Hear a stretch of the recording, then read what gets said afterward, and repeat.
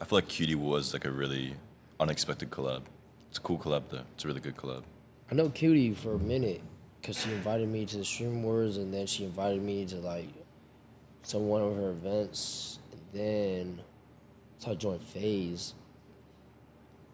I asked her to do a collab and then she was mad cool, mm. super nice. And then So you met Cutie me before you met Ludwig? Yeah. Yeah. I think Ludwig really likes you because I think he sees the good content from very far away and regardless of whatever form it takes, you know? So I can definitely tell that. Yeah, they've. He kind saw a of lot in adopted you, yeah, very early on. I guess yeah. Okay. Final question. Yeah. Views on Cutie. Mm, that's. So Cutie? Yeah, like so. I guess just like cutie in in general and like. Okay, so how did you meet her exactly? First time I met her, she DM'd me on Twitter.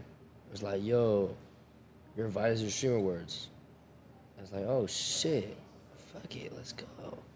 and I went, met her, said hi for a little bit, and then it was like a brief meeting. I didn't know her or anything, and then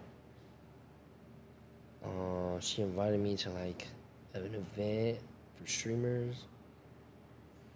And then, like I said, joined Phased, did like a, a, a collab, made food, and like she was mad cool, super chill.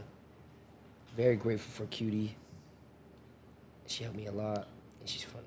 Yeah, I just think it's hilarious. Like you would never expect Cutie, I guess, and that progress side to be like around like the fashion. I think it's so cool how she's like involved in that shit and um like the Olympics, having y'all out there. That shit was stupid funny. Like I don't know stuff like that.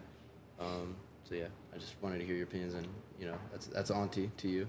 I guess you're icing her out. So.